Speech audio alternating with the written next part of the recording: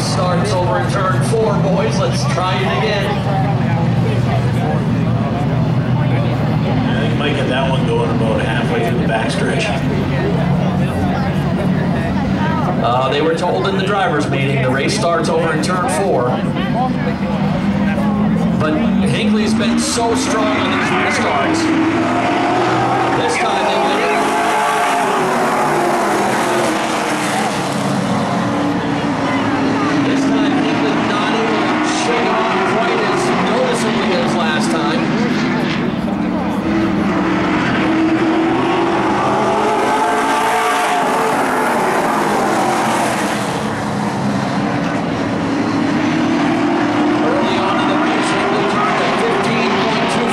second lap. These guys still around 15.8.